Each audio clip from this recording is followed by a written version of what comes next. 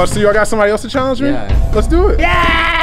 Sa episode na ito, masasaksihan natin ang paghaharap ng dalawang import na si Joel Gonzalo at Marcus Hamons.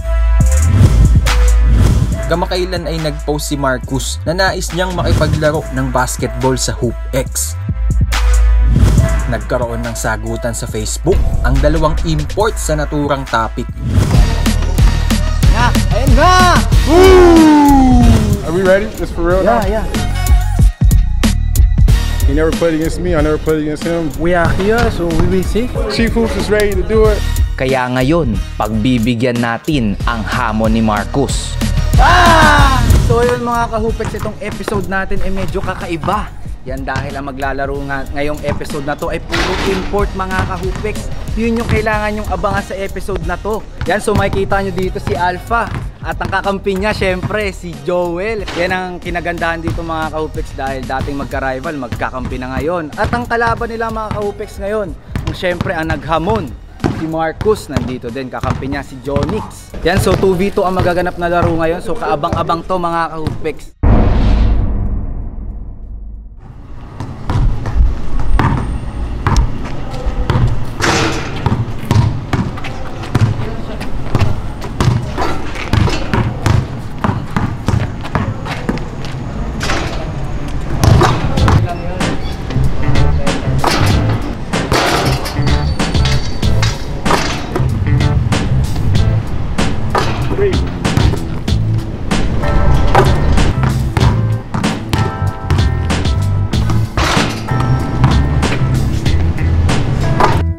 Marcus Hammonds, uh, 33 years old, from Gary, Indiana. I was 6'5", 200 pounds. I came here playing ball. I played with the Chicks Go 3x3 team, Basile and Steel, a couple years ago. And then I was doing some other games here. And then obviously the pandemic happened. So I just, you know, stayed here with my girlfriend and, and that's why I'm here now.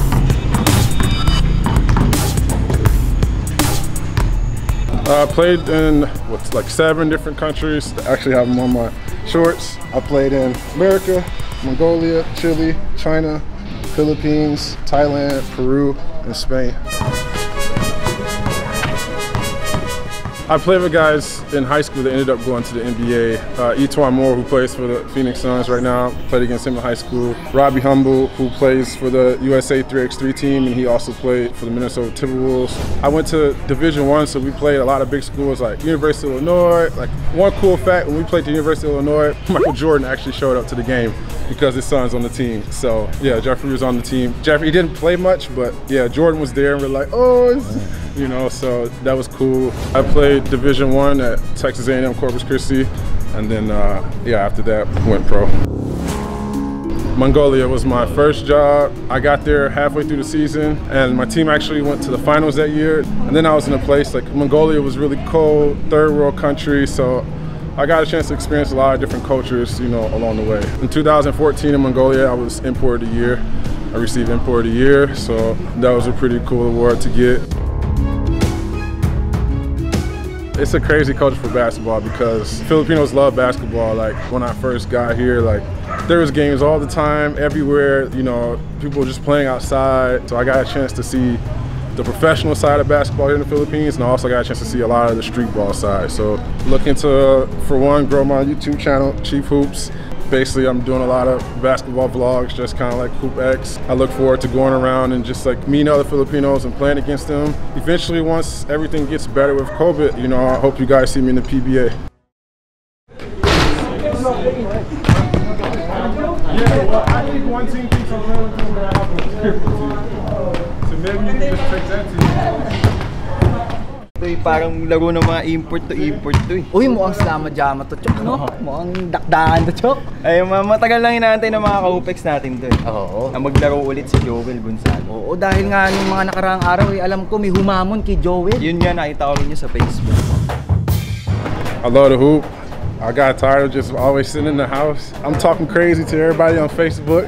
So, you know, I got to come out here and back it up now, you know what I'm saying? So it should be fun. I'm, I'm good with that though. You know, I like that. I like to bring a competitive nature to the game. I want them fired up to play me so it could be a fun game. Uh, actually, uh, I just read the uh, just yesterday, uh, all the things he said, and I think he's a good challenge for me. To be honest with you, I've never even played against Joel before. I've seen him play before in some local leagues and some highlights. He never played against me, I never played against him, but hey, we're just gonna lace them up. That's what hoopers do, and just get after it. We are here, so we will see. I will not play easily. Uh, I will play hard, and it will be good game. Expect to win. I mean, that's that's all I can really say on that.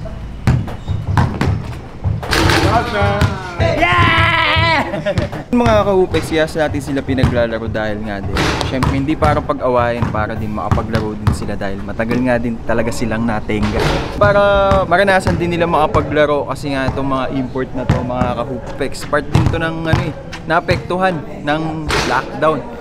Dahil nga syempre, di ba, wala namang bukas na mga court dito at mga walang liga. Kaya dito sa Hupex Private Court, limitado lang dito yung mga tao at mapapakita natin yung mga skills nila at syempre, for entertainment and good content din to mga ka-Hupex. Sa 2x2 challenge na ito, pinapili namin si Joel at Marcus ng kanilang magiging kampe sa laban na ito. Ang team ni Marcus na Chief Hoops, makakasama niya ang 5'10 point guard na si Jonix Rosales. Hi, uh, my name is Jonix Rosales. I'm 5'10 from Quezon City. Naglaro ako sa AMA para sa PBA D-League. Then after that, naglaro ako sa Nueva Ecija, MPBL. Then Team Vegan and Team Paranaque sa Chooks to Go 3x3. Then this year lang, recently, na-draft ako sa PBA under Northport Batang Pier. Na-expect ko yung game maging challenging of course kasi nakita naman natin yung mga kalaban. Tapos yun, gusto ko rin maglaro dito sa 2x2 para sa dagdag exposure lang din. Since hindi ako ganun kakilalang hooper dito sa Pilipinas, ayun, gusto ko lang magkaroon ng exposure.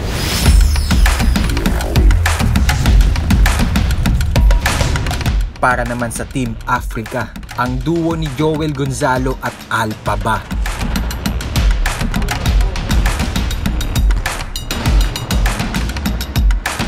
I'm ready to play 2v2 today. I'm not worried. I'm coming here for win today. So, papa-English na naman tayo mga ka-Hupex. Okay. So, tap, tap the ball. So, Joel will hold the ball. Then for that's for that's an example. And then you will tap the ball. If it if it remains with him, um, it's their ball. If it goes off, it's your ball. Ang hirap ng all import mga Do we, are we ready? Just for real now? Yeah, yeah. For real. Oh my god. Just do it. Go, go. Okay, ball. Yun, simulan natin mga kahupik.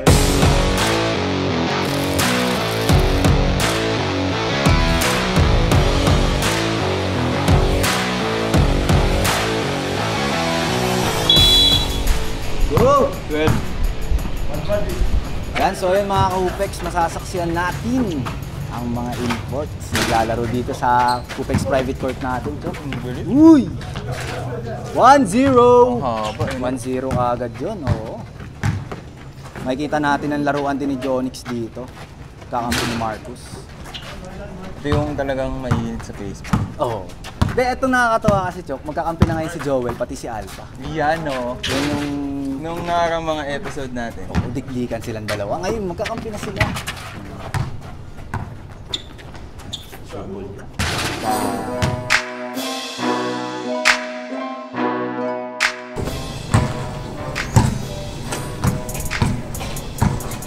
so, ang kakaiba dito mga ka-Hupex, hanggang sa maubos yung oras na 20 minutes, kung sino lamang siya mananalo.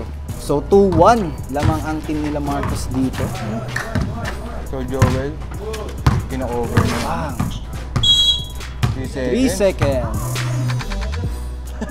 Let's go, Joel!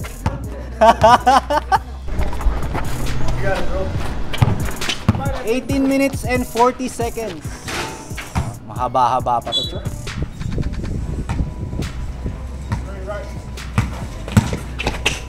Nice pick by Joel Gonzalo. Yun ang pinaganda. Nakakamiss din yung laro ng ganun.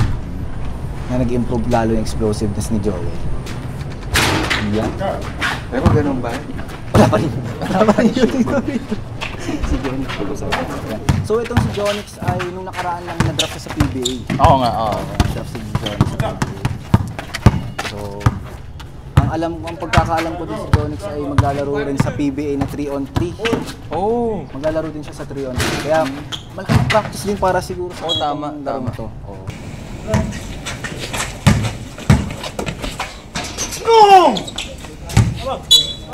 tama.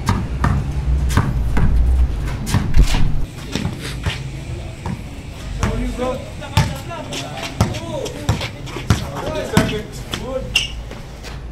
Oo. diskarte yata. Si Marcos naglaro na din dati sa mga 3 on 3. 4-1, 4-1. 6'5 tapos ganun galawan. 4-2. Nako po, lumawak sa akin. Yan si Marcos naglalaro na rin sa mga 3 on 3 dati yan, Chok. Grabe, shooting 6'5. Tapos sa ano pa, Kondisyon yun si Marcos. Apa. 17 minutes 11 seconds. So, medyo na-showcase dito yung shooting ni Marcos, no? Grabe yung shooting ni Marcos dito sa laban na to. yung flag daw dito. Sa paglaruan po niya. Okay, so makikita natin mga Kopex yung yung mga flag sa ano, Sa shorts sa niya. short ni Marcos yun yata yung mga napaglaruan. Oh, trivia lang. So, veterano na pala talaga to si Marcos. Oo. Good. Yeah, challenge siya ni Alpha. Solid. Joel. So may mismatch dito kay Joel kay Jonix pero tinitirahan ni Jonix sa labas. Yan ang kinagandahan naman sa ginagawa ni Jonix. 8-3. Lamang ang chef. Kumbaga ano lang eh, may mismatch tas may mismatch, may mismatch din. Kumbaga parang Ah! Mo yun?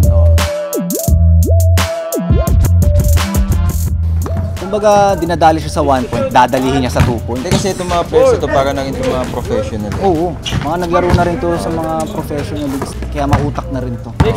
Nagamit nila kung saan sila advantage. Kung saan sila di, ano, kung saan sila lamang, di ba? Totoo yan. Pero kung napansin ko kay Alpha, mas lalo nag-improve yung dribbling. Oo. Na, pinakitaan na tayo. 10-6! Narinig tayo. Narinig tayo. Kahit Tagalog yan eh. Oo. tingnan. 6 to shoot. 3 to shoot. 3 to shoot. Maganda yung communication ni Alpha, pati ni Joe. Para silang mag-bestie naman. Kaya nga eh. Bestie Dating mga rival eh. Oo, bestie. Ooh, nice post move by Joel.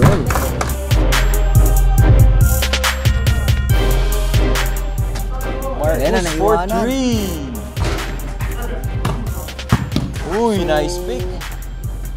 Ba. 12-7, grabe. Saka prior kasi magsimula itong laro na to, makikita mo nag-shooting drills kasi talaga si Jonix saka si Marcos. Oh. Okay. Talagang pinano nila. ano, Ang aga nila dumating dito, Chok. Shot clock. Good, good, good, good. 12-8.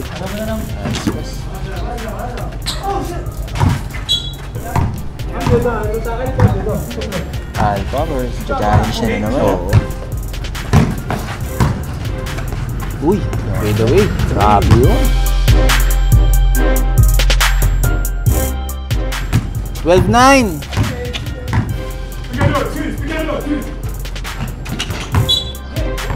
Twelve minutes and 30 seconds. Mahaba-haba pa to, Chok. Oo, mababa pa rin. Ayun na! Ayun na! Boom! Nakita natin talaga yung mismatch din. Oo. Na, talagang pag umere na si Joel, na First Pero Marcus 4-3. Bam! 14-10. Grabe na yung shooting nun. Bumawi ng, ng dos.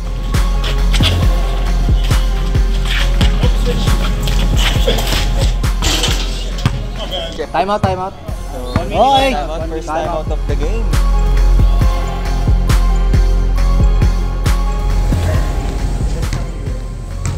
sometimes I'm gonna come up screen, and I'm gonna flip right back to screen again.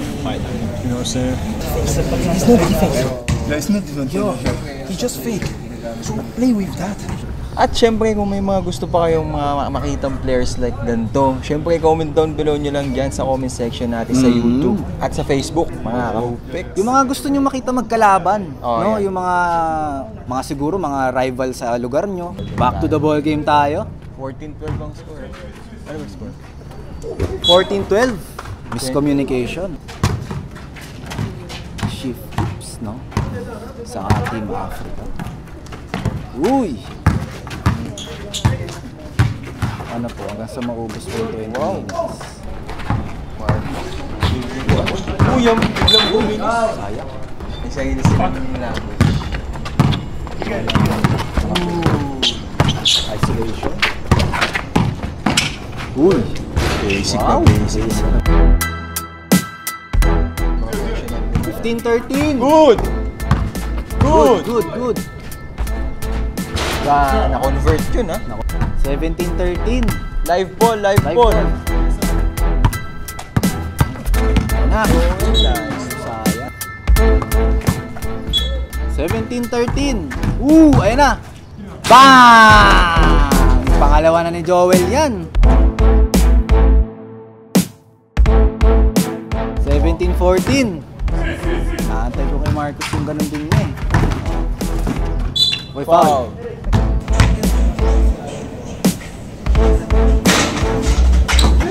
Ayun na, mismatch ulit. Tingnan natin. Kung wala, hindi na convert ha. Naiilang ha. Uy, nice pass. Together, please, please. Uy!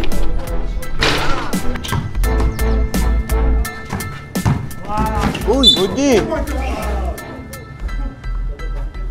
Okay lang, okay lang daw, okay lang daw. Tuloy ang laban. Uy, fake, fake, fake. Pero good. Good defense, good defense. Hindi pinapa, hindi binibigyan ng easy baskets dito si ano, si Marcos. Oh.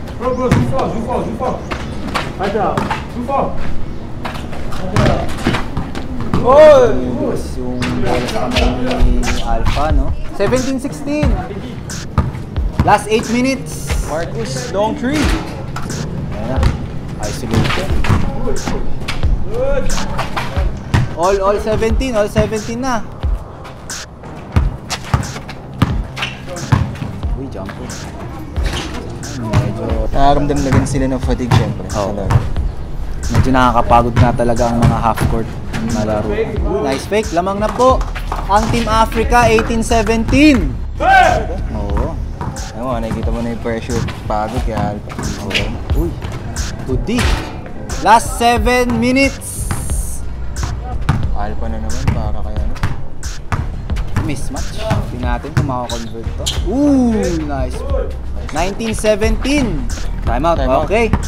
Nakita niya talagang dikdikan yung laban dito. Ang sarap panoorin. So nakikita ko talagang mismatch na. Pero syempre as a player, ginagamit din nila yung advantage. Oo. Kapag Lalo nag- lalo na yung team chief hoops na lamang na lamang sa shooting. Oo. Pero di lang nila na-convert yung mga tira. pero kapag nag, nag-click yung shooting neto ng Team Shift Hoops, malaki yung pag-asa nilang manalo. So, ang strategy dito ng Team Africa ay ginagamit nila yung sarili ng lingwa para sa mga plays. Yan. Nakita na napapansin Pero natin. ito?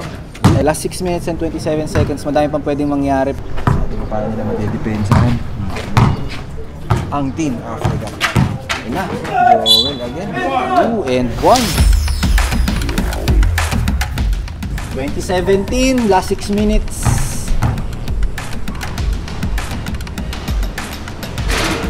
Wala pa rin talaga. Pero Idol John, nag-score 3, wala. Ang dami na nila tinitira pero maya maya baka biglang uminaw. Kinakapa ulit kumbaga. Medyo masakit nga lang yun, pero hindi natin malay. Ganda, good D. Shot clock. 21-17.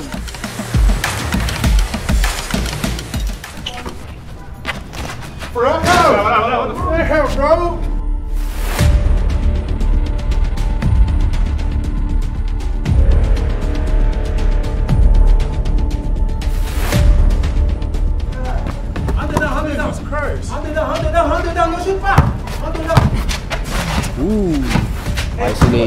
Isolation, dito. Uy! Good daw. Pero pag side traffic. Oy! 22-17. Medyo lumalayo na dito. Okay, foul. Wise play. Two Okay. shots para Idol Marcos. Medyo lumalayo na ng bahagya. Oo. 22-19. 3-point lead. 3-point lead para sa Team Africa. A to warning, warning for penalty. Okay, so penalty na tayo. Last 4 minutes and 36 seconds. Gumaling sa dribbling si Alpha ngayon.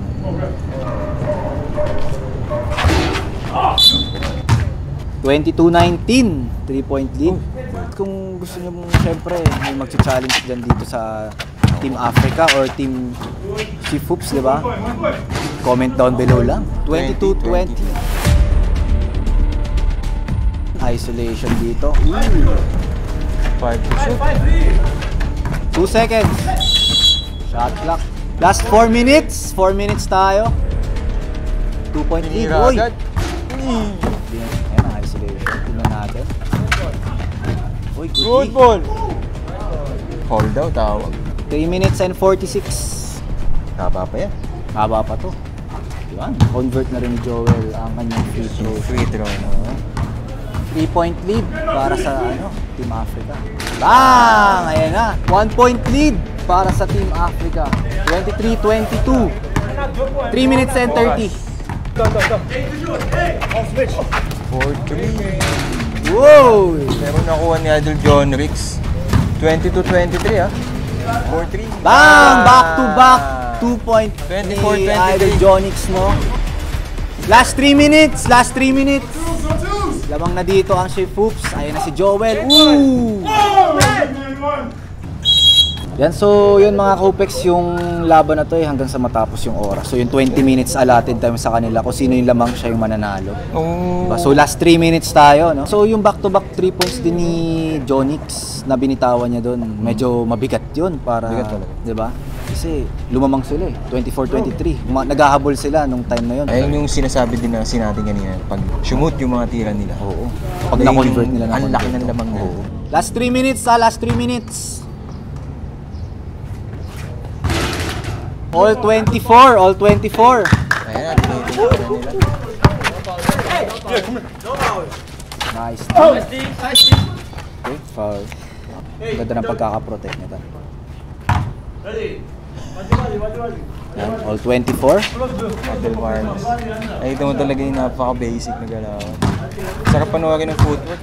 Oo. Pizza 3. Ay, hindi nakakailang ito. Sasabay sa'yo, napakalaw. Last 2 minutes and 20 seconds.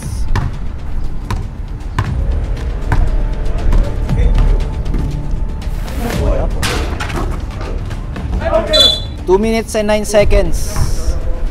Okay. Ooh, Pull up. Wait, oh. Gondo. Grabe yun. Pag na-convert yun, grabe yun. Eh, gusto ko yung mga ganun galawan. Last 2 minutes. Kaya doon ako nabibilib sa mga ganun. Oo. Yung kasi yung mahirap, isa sa mahirap practicing din. Tsaka mahirap depensa.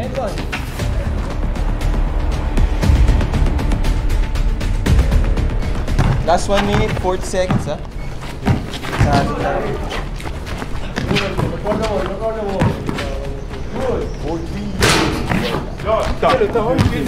Twenty-six,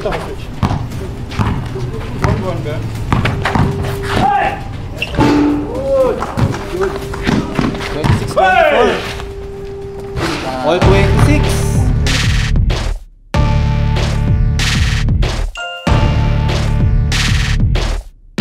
One minute, 15 seconds. All 26, ha? One minute, 10 seconds.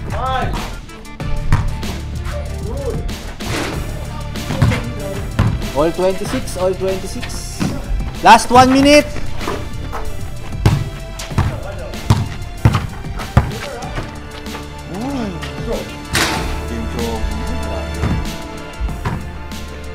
Forty-seven seconds. Forty seconds. Naku, mukhang sa kanila ang Ayan na. pupunta ang last possession. Wala. 30 seconds. Sa kanila mapupunta. Ayan na, minama ni Joel. Ooh, 27, 26. Last 20 seconds.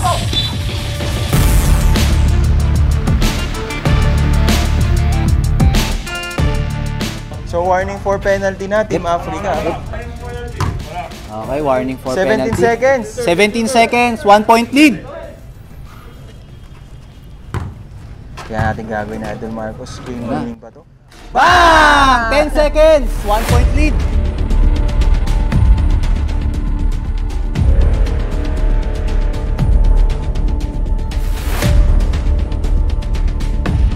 One point lead. 7 seconds. 5, 4.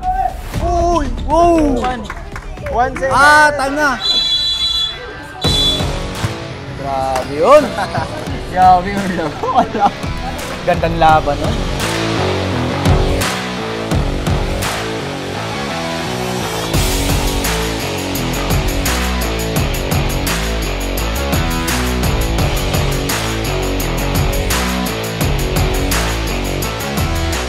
That was a tough ass finish he just made with the left. Made that with the left hand too.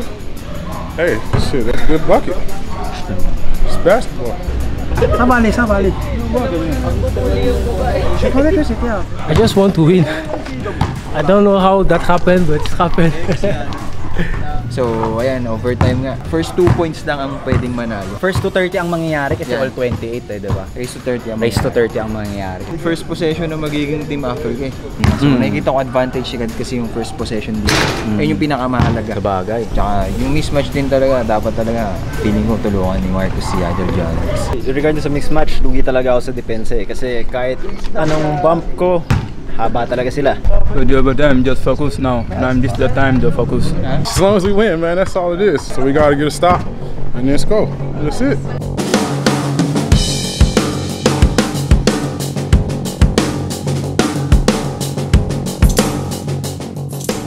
So, 30? Oo. So sabi ni Alpha dito, one step at a time ang gagawin daw nila. Oo.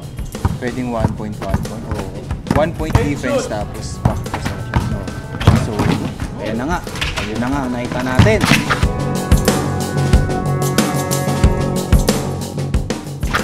So, last point na para sa turnover. Medyo masarap yun.